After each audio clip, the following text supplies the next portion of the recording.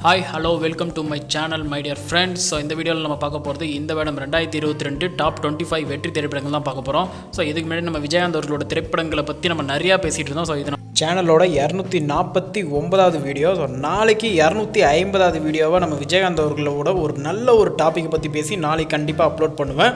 So இன்றைக்கி இந்த வீடியோவில் நம்ம எந்தெந்த மூவிஸ்லாம் வந்து எந்தெந்த இடத்துல பிடிச்சிருக்குன்றதை நம்ம தெளிவாக பார்க்கலாம். ஃபஸ்ட்டு இருபத்தஞ்சாவது பிளேஸில் நம்ம பார்க்க போகிற திரைப்படம் வந்து கார்கி. ஜூலை பதினஞ்சு ரெண்டாயிரத்தி இருபத்தி ரெண்டில் இந்த திரைப்படம் ரிலீஸ் ஆச்சு. ஸோ கௌதம்ன்றவங்க இயக்கினாங்க இந்த படத்தை. சாய் பள்ளி ஐஸ்வர்யா லட்சுமி அதேமாரி காளி வெங்கட் சரவணன் உட்பட பல பேர் வந்து நடிச்சிருக்காங்க. ஸோ இந்த திரைப்படம் வந்து சோஷியல் மெசேஜ் கொண்ட ஒரு நல்ல ஒரு திரைப்படம் தான் கமர்ஷியலாகவும் ஹிட் அடிச்சிருச்சு அடுத்தபடியாக இருபத்தி நாலாவதாக பார்க்க போகிற திரைப்படம் டானாகாரன் டானாகாரன் திரைப்படம் தமிழ்ன்றவங்க வந்து இயக்கியிருந்தாங்க. ஏப்ரல் மாதம் ரெண்டாயிரத்தி இருபத்தி ரெண்டு ரிலீஸ் ஆச்சு. விக்ரம் பிரபு அஞ்சலி அஞ்சலி நாயர் மற்றும் நடிச்சிருப்பாங்க. ஸோ இந்த திரைப்படமும் ஒரு நல்ல ஒரு பேஸ் கான்செப்ட் மூவி தான். ஸோ இந்த படமும் ஒரு கமர்ஷியலான ஒரு ஹிட்டு இந்த திரைப்படம் வந்து ஹாட் ஸ்டார் டெஸ்டினியில் ஓடிடி பிளாட்ஃபார்மில் ரிலீஸ் ஆச்சு. இருபத்தி மூணாவது பிளேஸில் பார்க்க போகிற திரைப்படம் வந்து மன்மதலியில் ஏப்ரல் மாதம் ரெண்டாயிரத்தி இருபத்தி ரெண்டு வெங்கப்பிரபு இயக்கத்தில் ரிலீஸ் ஆச்சு. அசோக் செல்வன் ரியா சப்யுக்தா ஹெச் மற்றும் பலர் நடிச்சிருப்பாங்க. ஸோ இந்த திரைப்படமும் ஒரு ரொம்பவே வந்து பாசிட்டிவ் ரிவ்யூஸ் சில இடங்களில் மிக்ஸ்ட் ரிவ்யூஸ் வாங்கி ஸோ கமர்ஷியலாக ஒரு ஹிட்டான திரைப்படம் தான் மன்மதிலே அதனால தான் இருபத்தி மூணு. அடுத்தபடியாக இருபத்தி ரெண்டாவது பார்க்க போகிற திரைப்படம் நெஞ்சுக்கு நீதி. மே மாதம் ரெண்டாயிரத்தி இருபத்தி ரெண்டாம் தேதி இந்த திரைப்படம் ரிலீஸ் ஆச்சு. நம்ம உதயநிதி ஸ்டாலின் மற்றும் டானியா மற்றும் நடிச்சிருப்பாங்க. அருண் ராஜா காமராஜ் இயக்கி. ஸோ இந்த திரைப்படமும் வந்து மிக்சட் ரிவ்யூஸ் வந்துச்சு. அதேமாரி பாசிட்டிவ் ரிவ்யூஸ் வந்துச்சு. இருந்தாலும் இந்த திரைப்படமும் வந்து கமர்ஷியலாக வந்து ஒரு ஹிட் அடித்ததால தான் நம்ம நெஞ்சுக்கு நீதி திரைப்படத்தை நம்ம இருபத்தி ரெண்டாவது பிளேஸில் வந்து கொடுத்துருக்கோம். அடுத்தபடியாக இருபத்தி ஒன்றாவது பிளேஸில் வீட்டில் விசேஷம். ஜூன் மாதம் ரெண்டாயிரத்தி இருபத்தி ரெண்டாம் வருடம் இந்த திரைப்படம் ரிலீஸ் ஆச்சு. ஆர்ஜே பாலாஜி அதேமாரி என்ஜே சரவணன் ரெண்டு பேர் இயக்கத்தில் இந்த படத்தில் நடித்தது அப்படின்னு பார்த்தா ஆர்ஜே பாலாஜி அதேமாரி அபர்ணா பாலமுரளி அதேமாரி சத்யராஜ் ஊர்வசி மற்றும் பலர் நடிச்சிருப்பாங்க. ஸோ இந்த திரைப்படமும் ஒரு ஃபேமிலி காமெடி கலந்த ஒரு கமர்ஷியலான ஒரு ஹிட் மூவினால நம்ம இந்த திரைப்படத்தை வந்து இருபத்தி ஒன்றாவது பிளேஸில் வந்து வச்சுருக்கோம்.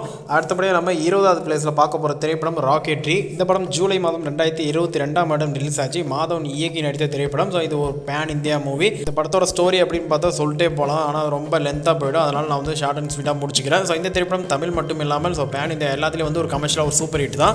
அடுத்தபடியாக நம்ம பத்தொன்பதாவது பார்க்க போகிற திரைப்படம் வந்து விருமன். விருமன் திரைப்படம் ஆகஸ்ட் மாதம் ரிலீஸ் ஆச்சு முத்தியா இயக்கத்தில்.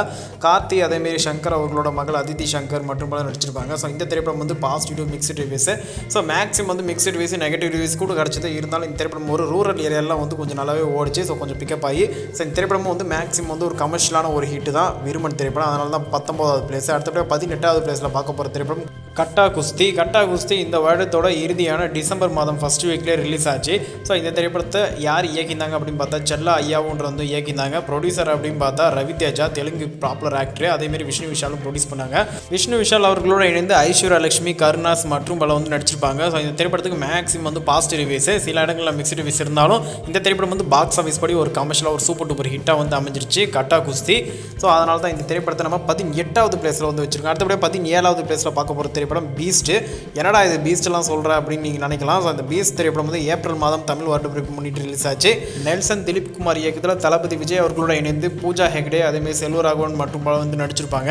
ஸோ இந்த திரைப்படம் வந்து மேக்ஸிமம் பார்த்தா நெகட்டிவ் ரிவ்யூஸ் தான் அதிகபட்சம் இருந்துச்சு. அதேமாரி சில இடங்கள் வந்து மிக்ஸ்டு ரிவ்யூஸ் கொஞ்சம் கூட பாசிட்டிவ் ரிவ்யூஸே வரவே இல்லை. ஸோ இருந்தாலும் இந்த திரைப்படத்தை வந்து நான் ஏன் சொல்கிறேன் அப்படின்னு பார்த்தா ஸோ தளபதி அப்படின்னு ஒரு பிராண்டுன்னே சொல்லலாம். அந்த ஒரு காரணத்தால் தான் இந்த திரைப்படம் வந்து டூ தேர்ட்டி க்ரோர்ஸ்க்கு மேலே கலெக்ஷன் பெற்று இந்த திரைப்படம் வந்து ஒரு கமர்ஷியலாக வந்து ஒரு சூப்பர் டூப்பர் ஹிட்டாக வந்து அமைஞ்சது பீஸ்ட்டு ஸோ அதனால் தான் இந்த திரைப்படத்தை நம்ம பதினேழாவது பிளேஸில் வந்து வச்சுருக்கோம். ஸோ தளபதி இல்லைனா இந்த பீஸ்ட் படத்தோட நிலைமை என்னன்னு யோசிச்சு பாருங்கள் அடுத்தபடியாக நம்ம பதினாறாவது பிளேஸில் பார்க்க போகிற திரைப்படம் வந்து வலிமை. பிப்ரவரி மாதம் ஸோ நம்ம ஹெச் வினோத் இயக்கத்தில் ரிலீஸ் ஆச்சு. இந்த திரைப்படம் போனி கபூர் தயாரிப்பில். ஸோ அஜித் குமார் அவர்கள் நடிச்சிருப்பார். ஸோ ரெண்டு வருஷத்துக்கு அப்புறம் வலிமை திரைப்படம் வந்து ரொம்பவே வந்து எக்ஸ்பெக்டேஷனோட ரிலீஸ் ஆச்சு. ஸோ பீஸ்டோட நிலைமை தான். இந்த படத்துக்கும் மிக்ஸ்ட் ரிவ்யூஸ் அதேமாதிரி நெகட்டிவ் ரிவ்யூஸ்லாம் கிடச்சிது. ஸோ அதேமாரி தான் விஜய் அவர்கள் மாரி தான் த நம்ம அஜித் குமார் அவர்களும் ஒரு பிராண்டு ஸோ அதனால் அஜித் குமார் இருந்ததால் தான் இந்த திரைப்படம் வந்து டூ ஹண்ட்ரட் க்ரோர் வந்து கலெக்ஷன் பெற்றுச்சு. ஸோ அதனால் இந்த திரைப்படம் வந்து ஒரு கமர்ஷியலாக வந்து சூப்பர் டூப்பர் ஹிட் ஆனதால் தான் பதினாறாவது இடம். அடுத்தபடியே பதினஞ்சாவது இடத்துல பார்க்க போகிற திரைப்படம் பாண்டியராஜ் இயக்கத்தில் சூர்யா நடிப்பில் வெளியான எதற்கும் துணிந்தவன் மார்ச் மாதம் ரிலீஸ் ஆச்சு. ஸோ இந்த படத்தில் சூர்யா அவர்களோட இணைந்து சத்யராஜ் அதேமாரி பிரியங்கா மோகன் மற்றும் நடிச்சிருப்பாங்க.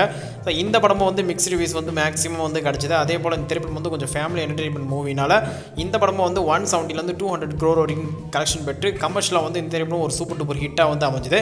அதனால தான் இந்த திரைப்படத்தை நம்ம பதினஞ்சாவது பிளேஸ்லேருந்து வச்சு முடிஞ்சிருக்கோம் ஸோ இதில் வந்து அஜித் விஜய் சூர்யா இவங்களோட சேலரி பேசிங் படியே வந்து ரொம்ப அதிகமான சேலரி ஸோ படத்தோட ப்ரொடக்ஷன் பார்த்தா கம்மி தான். ஸோ இருந்தாலும் விஜய் அவர்களோட சேலரி ரொம்பவே அதிகம். அதனால தான் பீஸ்ட் வந்து இந்த ரெண்டு படத்துக்கு கீழே வந்து கொடுத்துருக்கேன். அடுத்தபடி பார்த்தீங்கன்னா நாலாவது பிளேஸில் எஃப்ஐஆர் மனு ஆனந்த்ன்றவங்க வந்து இயக்கியிருந்தாங்க பிப்ரவரி மாதம் ரிலீஸ் ஆன திரைப்படம். ஸோ விஷ்ணு ஆனந்த் ரைசா ரீபா மற்றும் வந்து நடிச்சிருப்பாங்க. ஸோ இந்த திரைப்படம் ரிவ்யூஸ் அப்படின்னு பார்த்தா மேக்ஸிமம் வந்து பாசிட்டிவ் ரிவ்யூஸ் கிடச்சிது. ஸோ இந்த திரைப்படம் கமர்ஷியலாக வந்து சூப்பர் டூப்பர் ஹிட் அமைஞ்சதால தான் பதினாலாவது பிளேஸ் அடுத்தபடி பதி மூணாவது பிளேஸில் பார்க்க போகிற திரைப்படம் வந்து என்னன்னா காத்து வாக்கில் ரெண்டு காதல். விக்னேஷ் சிவன் இயக்கத்தில் ஏப்ரல் மாதம் ரெண்டாயிரத்தி இருபத்தி ரெண்டாம் ஆண்டும் ரிலீஸ் ஆச்சு. விஜய் சேதுபதி நயன்தாரா சம்பந்தா மற்றும் பலர் நடிச்சிருப்பாங்க. ஸோ இந்த திரைப்படம் வந்து ரொம்பவே வந்து லவ் ரொமான்ஸ் கலந்த ஒரு காதல் திரைப்படம். ஸோ இந்த திரைப்படம் வந்து பாஸ்ட் ரிவ்யூஸ் மேக்ஸிமம் கிடச்சிது. சில இடங்களில் மிக்சட் ரிவ்யூஸாக இருந்தாலும் சூப்பர் டூப்பர் ஹிட்டாக வந்து அமைஞ்சது. காத்து வாக்கில் ரெண்டு காதல் பாக்ஸ் ஆஃபீஸ்லேயும் வந்து நல்ல ஒரு கலெக்ஷனு அடுத்தபடியாக நம்ம பன்னெண்டாவதாக பார்க்க போகிற திரைப்படம் வந்து மகான். மகான் திரைப்படம் பிப்ரவரி மாதம் ஓடிடியில் கார்த்தி சுப்ராஜ் இயக்கத்தில் ரிலீஸ் ஆச்சு. விக்ரம் துரு விக்ரம் சிம்ரன் பாபி சிம்மா மற்றும் வந்து நடிச்சிருப்பாங்க. ஸோ இந்த திரைப்படம் வந்து ஃபுல் அண்ட் ஃபுல் வந்து பாசிட்டிவ் ரிவ்யூஸ் தான் வந்து கிடச்சிது மகான் திரைப்படத்துக்கு. சூரரை போட்டு ஜெய் பீம் திரைப்படத்துக்கு அப்புறம் ஓடிடி பிளாட்ஃபார்மில் ஒரு நல்ல ஒரு பிளாக் பஸ்டர் பெற்ற ஒரு திரைப்படம் அப்படின்னு பார்த்தா மகான் திரைப்படம் தான் வந்து பேர் வாங்கிச்சு. அடுத்தபடியாக நம்ம பதினொன்றாவது பிளேஸில் பார்க்க போகிற திரைப்படம் வெந்து தனித்தது காடு. செப்டம்பர் மாதம் கௌதம் வாசுதேவ் மேனன் இயக்கத்தில் எஸ்டிஆர் நடித்த ஸோ இந்த திரைப்படம் வந்து ஏஆர் ரஹ்மான் இசையமைச்சிருப்பார். இந்த படத்துக்கு மேக்ஸிமம் வந்து மிக்ஸ் ரிவ்யூஸ் கிடச்சிது. அதேமாரி பாசிட்டிவ் ரிவ்யூஸும் கிடச்சிது. ஸோ இருந்தாலும் பாக்ஸ் ஆஃபீஸ் பிரகாரம் இந்த திரைப்படமும் வந்து ஒரு சூப்பர் டூப்பர் ஹிட்டாக வந்து அமைஞ்சது கமர்ஷியலாக அதனால தான் இந்த திரைப்படத்தை வந்து நம்ம பதினொன்றாவது பிளேஸில் கொடுத்துருவோம் அடுத்தபடியே பத்தாவது பிளேஸில் பார்க்க போகிற திரைப்படம் யானை. யானை திரைப்படம் ஜூலை மாதம் ஹரி இயக்கத்தில் வெளியாச்சு. அருண் விஜய் பிரியா பவானி சங்கர் மற்றும் வந்து நடிச்சிருப்பாங்க. ஸோ யானை திரைப்படம் சொல்லவே தேவையில்ல. விக்ரம் படத்துக்கு ரிலீஸுக்கு அப்புறமா யானை திரைப்படம் தான் வந்து கொஞ்சம் நல்லாவே வந்து ஓடிச்சு. ஸோ யானை திரைப்படமும் வந்து ஃபிஃப்டி க்ரோருக்கு மேலே கலெக்ஷன் பெற்று ஒரு சூப்பர் டூப்பர் ஹிட்டாக வந்து அமைஞ்சது அருண் விஜய் கரியரில் இந்த வருடத்தில். ஸோ அருண் விஜய் தவிர்த்து இந்த படம் வந்து ஹரி இயக்கத்தில் வெளியான திரைப்படம். ஸோ அதனாலேயே வந்து கொஞ்சம் நல்லாவே வந்து பீக் இருந்துச்சு. அடுத்தபடி நம்ம ஒன்பதாவது பார்க்க போகிற திரைப்படம் வந்து டானு. சிபி சக்கரவர்த்தி இயக்கத்தில் மே மாதம் ரெண்டாயிரத்தி இருபத்தி ரெண்டாம் ஆண்டும் ரிலீஸ் ஆச்சு. சிவகார்த்திகேயன் அவர்களோட இணைந்து எஸ் ஜே சூர்யா பிரியா அருள்மோகன் சிவாங்கி மற்றும் பலர் நடிச்சிருப்பாங்க.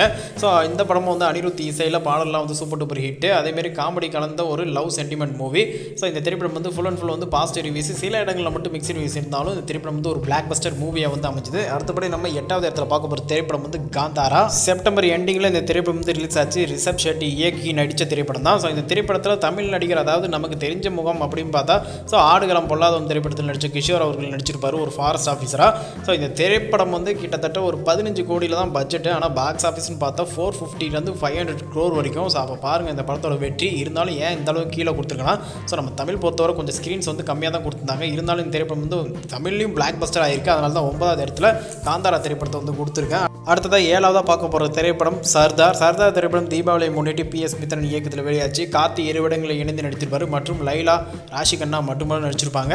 ஸோ இந்த திரைப்படத்தோட வெற்றி பற்றி சொல்லவே தேவையில்ல. ஃபுல் அண்ட் ஃபுல் வந்து பாசிட்டிவ் ரிவ்யூஸ் தான் கிடச்சிது. ஸோ மிக்ஸ் ரிவ்யூஸ்லாம் வந்து மேக்ஸிமம் வந்து இல்லவே இல்லை. பொன்னியின் செல்வன் படத்துக்கு பிறகு ஒரு பிளாக் பஸ்டர் மூவி அப்படின்னு பார்த்தா சர்தார் திரைப்படம் தான். அதேமாரி நூறு கோடிக்கு மேலே வசூல் செஞ்ச ஒரு மெகா ஹிட் மூவியை வந்து அமைஞ்சுது. ஸோ அதனால தான் இந்த திரைப்படத்தை நம்ம ஏழாவது இடத்துல வந்து கொடுத்துருக்கேன் சர்தார் அடுத்தபடி ஆறாவதாக பார்க்க போகிற திரைப்படம் வந்து திருச்சிற்றபலம் மித்ரன் ஆர் ஜவஹர் இயக்கத்தில் ஆகஸ்ட் மாதம் வெளியான திரைப்படம் தான். ஸோ தனுஷ் அவர்களோட இணைந்து பிரகாஷ் ராஜ் பாரதி ராஜா அதேமாரி நித்யா மேனன் ராஷி கண்ணா பிரியா பவானி சங்கர் மற்றும் ஒரு நட்சத்திர பட்டாளமே நடிச்சிருக்கோம்.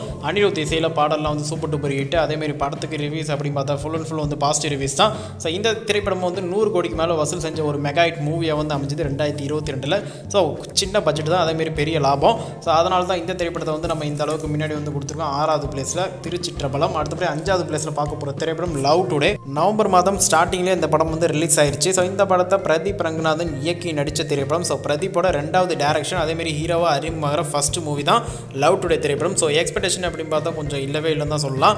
ஸோ இந்த படத்தில் பிரதீப் அவர்களோட இணைந்து சத்யராஜ் அதேமாரி ராதிகா ஈவானா யோகி பாபு மற்றும் போல வந்து நடிச்சிருப்பாங்க. யுவன் சங்கர் ராஜா இசையில். ஸோ இந்த படத்தோட வெற்றி வந்து சொல்லவே தேவையில்லை.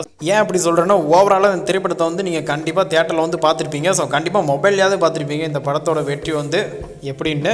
ஸோ இந்த படத்தோட பட்ஜெட் அப்போ ஃபஸ்ட் சொல்லிக்கிறேன். ஸோ அஞ்சுலேருந்து ஏழு கோடி வரைக்கும் தான் பட்ஜெட் ஆனால் பாக்ஸ் ஆஃபீஸ் பார்த்தா எழுபதுலேருந்து தொண்ணூறு கோடி வரைக்கும். ஸோ அந்த அளவுக்கு வந்து இந்த திரைப்படம் வந்து கல்லா கட்டின ஒரு மெகா ஹிட் மூவியை வந்து அமைஞ்சது ரெண்டாயிரத்தி இருபத்தி ரெண்டில். அதனால தான் இந்த திரைப்படத்தை நம்ம அஞ்சாவது பிளேஸில் வந்து கொடுத்துருக்கோம். அடுத்தபடியாக நாலாவது பிளேஸில் பார்க்க போகிற திரைப்படம் வந்து ட்ரிபிள் ஆர் மார்ச் மாதம் ரிலீஸ் ஆன இந்த திரைப்படத்தை ராஜமௌலி எஸ் ராஜமௌலி இயக்கத்தில் ஜூனியர் என்டிஆர் ராம் சரண் ஆலியா பட் அஜய் தேவ்கான் மற்றும் படம் நடித்து ஸோ ஒரு மெகா ஹிட் மூவியாக வந்து அமைஞ்சது. நம்ம ட்ரிபிள் ஆர் திரைப்படம் தான். ஸோ தெலுங்கு மட்டும் இல்லாமல் இந்த திரைப்படம் வந்து எல்லா லாங்குவேஜிலும் ஒரு மெகா ஹிட்டு அதாவது இண்டஸ்ட்ரியல் ஹிட்னே சொல்லலாம். ஸோ ஏன் காந்தாரா திரைப்படத்தை வந்து கீழே கொடுத்து இதை மேலே கொடுத்துருங்க ஸோ நம்ம தமிழ் பொறுத்தவரை காந்தாரா வந்து ஒரு கமர்ஷியலாக ஒரு பிளாக் பஸ்டர் ஆனால் இந்த ட்ரிபிள் ஆர் திரைப்படம் வந்து தமிழ்லேயே வந்து ஒரு பெரிய வெற்றியாக வந்து அமைஞ்சது. அதனால தான் நம்ம நாலாவது இடத்துல வந்து நம்ம ட்ரிபிள் ஆர் கொடுத்துருக்கோம். அடுத்த பேர் மூணாவது பிளேஸில் பார்க்க போகிற திரைப்படம் வந்து கேஜிஎஃப் டூ தான். ஸோ வருடப்பிறப்பு தமிழ் வருடப்பிறப்பு முன்னிட்டு பீஸ்டிக் அகைன்ஸ் திரைப்படம் வந்து ரிலீஸ் ஆச்சு.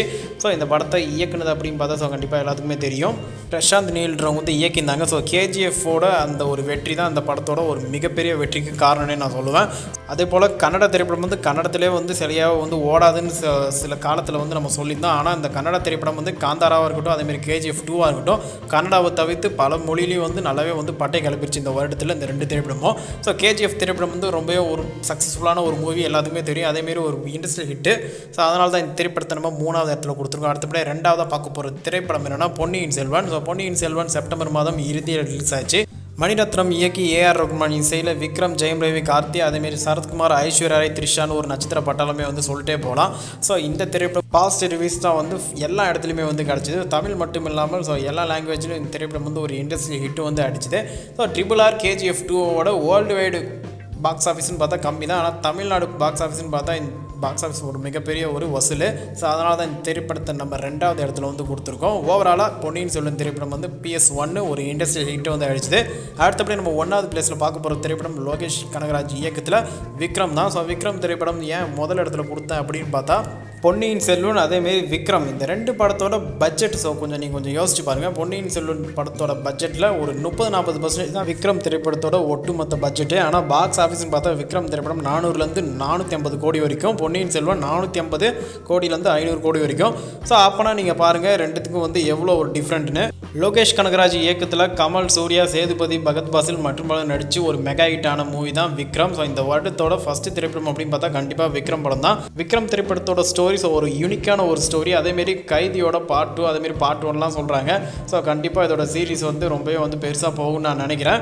அதேமாரி விக்ரம் திரைப்படத்தோட வெற்றி வந்து சொல்லவே தேவையில்ல. ஸோ எல்லாத்தையுமே வந்து தெரியும். பொன்னியின் சொல்லும் திரைப்படத்தோட அதிக நாட்கள் ஓடி வசூல் ரீதியாக ஒரு இண்டஸ்ட்ரியல் ஹிட் அடிச்ச மூவி தான் விக்ரம். ஸோ அதனால தான் ஃபஸ்ட் பிளேஸ் ஸோ அவ்வளோதான் ஃப்ரெண்ட் ரெண்டாயிரத்தி இருபத்தி ரெண்டில் வெளியான திரைப்படத்தில் உங்களுக்கு பிடிச்ச திரைப்படம் எதுன்னு கமெண்ட்டில் வந்து கமெண்ட் பண்ணுங்கள் இந்த வீடியோ பிடிச்சிருந்தா லைக் பண்ணுங்கள் ஷேர் பண்ணுங்கள் சப்ஸ்கிரைப் பண்ணுங்கள் தேங்க்ஸ் ஃபார் வாட்சிங்